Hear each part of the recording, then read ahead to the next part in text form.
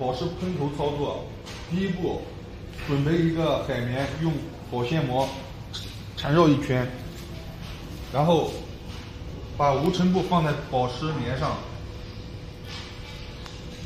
倒上保湿液，把无尘布全面打湿。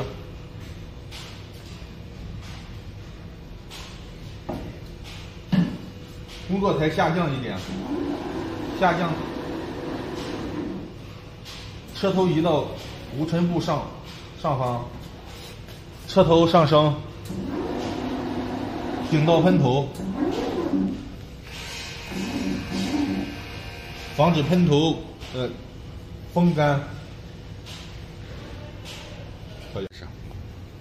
长期不使用，需要把机器的墨瓶封死，防止自然挥发。